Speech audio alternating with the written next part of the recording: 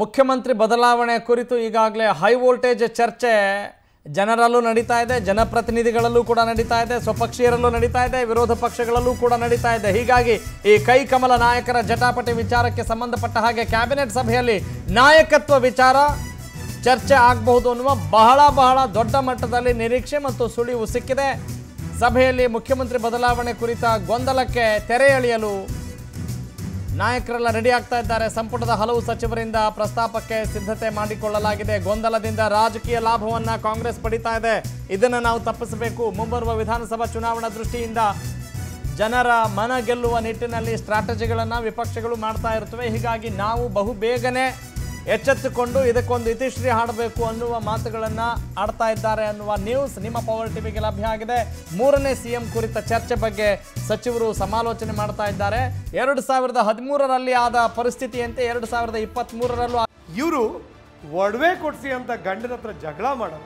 ಇವರೇ ಒಡವೆ ಮಾಡಿ ಮಾರಾಟ ಮಾಡ್ತಾರೆ. ತಿಂಗಳಿಗೆ ಲಕ್ಷಕ್ಕೂ ಹೆಚ್ಚು ಸಂಪಾದನೆ ಮಾಡ್ತಾರೆ. ನೀವು ಸಂಪಾದನೆ ಮಾಡಬೇಕಾ? ಫ್ರೀಡಮ್ ಆ್ಯಪನ್ನು ಈಗಲೇ ಡೌನ್ಲೋಡ್ ಆಗುವ ಪ್ರಸ್ತಾಪ ಮಾಡಲಾಗಿದೆ. ಅಂದರೆ ಎರಡು ಸಾವಿರದ ಹದಿಮೂರಲ್ಲಿ ಆದಂಥ ಪರಿಸ್ಥಿತಿ ಅಂದರೆ ಏನರ್ಥ ಆ ಮೂವರು ಮುಖ್ಯಮಂತ್ರಿಗಳನ್ನು ಭಾರತೀಯ ಜನತಾ ಪಕ್ಷ ನೇತೃತ್ವದ ಸರ್ಕಾರ ಕೊಟ್ಟಿತ್ತು. ಯಡಿಯೂರಪ್ಪ ಅವರು ಮುಖ್ಯಮಂತ್ರಿ ಆದರು ತದನಂತರ ಭ್ರಷ್ಟಾಚಾರದ ಆರೋಪದ ಮೇಲೆ ಸ್ವಪಕ್ಷೀಯರ ಒಂದು ಹುನ್ನಾರದಿಂದಲೇ ಅವರು ಜೈಲು ಸೇರಿದರು ಅನ್ನುವ ದೊಡ್ಡ ಆರೋಪ ಈಗಲೂ ಕೂಡ ಕೇಳಿ ಬರ್ತಾ ಇದೆ.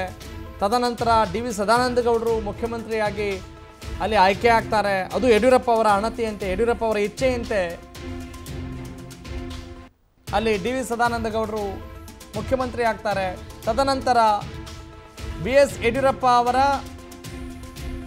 ಅಣತಿಯಂತೆ ಎಲ್ಲವೂ ನಡೀತಾ ಇಲ್ಲ ಅಂತ ಗೊತ್ತಾದಾಗ ಡಿ ವಿ ಸದಾನಂದ ಗೌಡರು ಕೂಡ ತಮ್ಮ ಸ್ಥಾನವನ್ನು ಮುಖ್ಯಮಂತ್ರಿ ಹುದ್ದೆಯನ್ನು ಕಳೆದುಕೊಳ್ಬೇಕಾಗತ್ತೆ.